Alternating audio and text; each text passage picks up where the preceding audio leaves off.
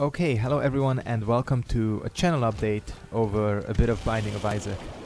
Uh, the reason I'm doing this channel update is because I feel like over the past few weeks I've been pretty shitty at having a consistent upload schedule for my videos so I decided to kind of uh, work out an upload schedule that allows me to upload all of my series more consistently and hopefully this is something that's gonna appeal to most people.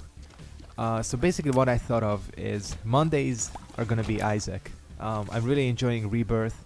Doing runs is a ton of fun, both off screen and on screen.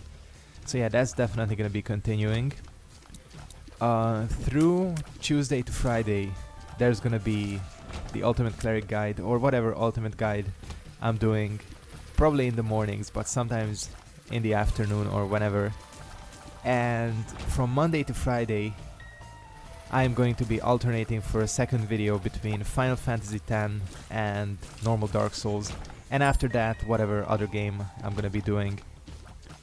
As for the weekends, uh, the weekends are really not consistent. You know, sometimes I'm home, sometimes I'm out, don't have that much time to record.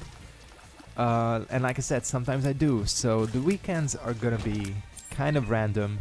Might see Ultimate Cleric Guide, maybe Dark Souls, Final Fantasy X, maybe PvP for Dark Souls 2, you never know. Uh, maybe Isaac. So I'm gonna be keeping the weekends pretty open because a lot of the times, you know, my the time, the free time I have varies.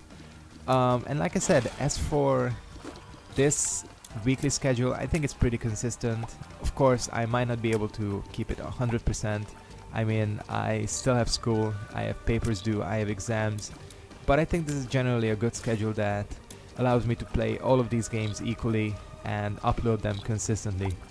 So yeah, like I said, this is just a short upgrade, upgrade, update video. I wreck Larry Jr., got some awesome items on this first floor, and yeah, I'm gonna go ahead and finish this Eve run. Thank you very much for watching, and I'll see you next time. Goodbye.